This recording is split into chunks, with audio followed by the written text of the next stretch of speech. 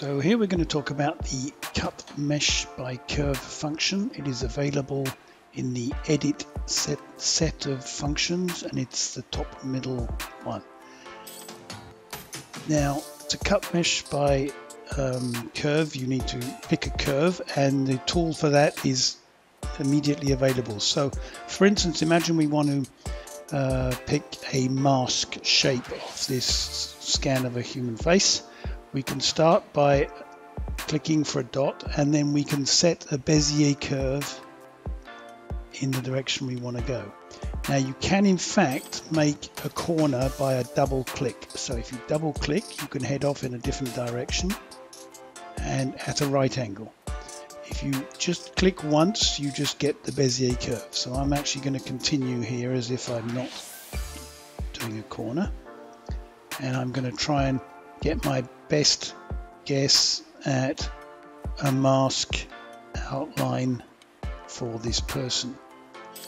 Now you can pick more than one curve. So when you get to the end of the curve, you uh, if you're going to pick a closed curve, you double click and as you move away you can see this trailing line. You press escape and now you have one curve already picked you can adjust this curve. You can return to a point and make small adjustments to it. Try and make it a bit more symmetrical um, in this case. And you can even add points and you can add another curve. So you can start from here and add a section across here. Now this doesn't make a lot of sense for our finishing with a double click.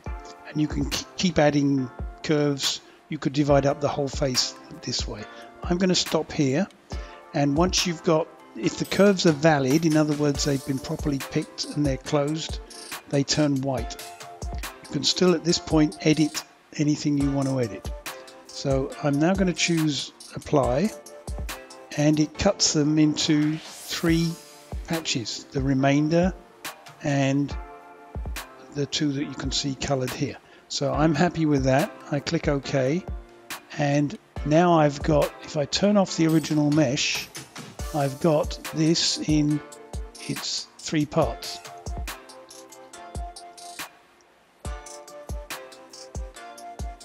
And these can be exported separately. They can be even put back to bed together with our combine function and exported as an OBJ file where the receiving software will see the joins between the patches. So you can export multiple patches in a single OBJ file, but you cannot do that with an STL file. So that's how you can use cut to curve,